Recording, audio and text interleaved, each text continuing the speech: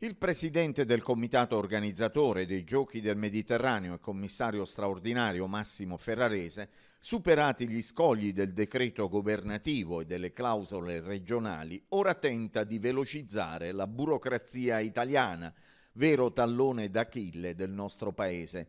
Tu puoi fare il commissario straordinario e avere quindi ampi poteri, puoi essere sostenuto dal governo, puoi anche avere i fondi a disposizione ma ci sarà sempre quella conferenza dei servizi che slitterà per un motivo qualsiasi e che quindi ridurrà i tempi a disposizione che come si sa sono già ridotti di almeno quattro anni in questo caso.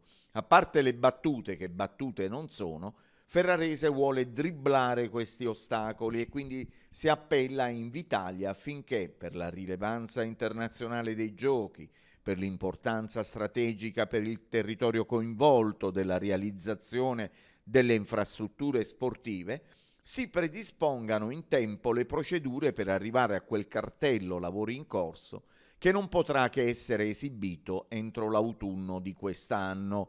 Parliamo anche di finanziamenti e di opere pubbliche. Ferrarese su questo va cauto, come va cauto sulla storia dell'Erasmo Iacovone, ma questo è un problema che sorgerà se sorgerà. Giocare mentre si lavora, insomma, staremo a vedere. Nei prossimi giorni aumenteranno i contatti con i sindaci della provincia di Taranto, molti progetti approvati, che anche qui sarà importante iniziare i lavori al più presto.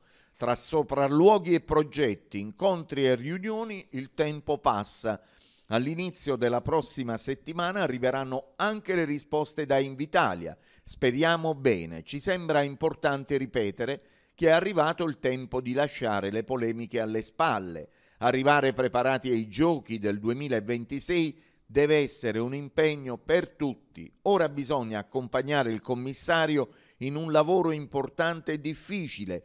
Lavorare sodo e soprattutto in fretta in Italia non è stato mai semplice.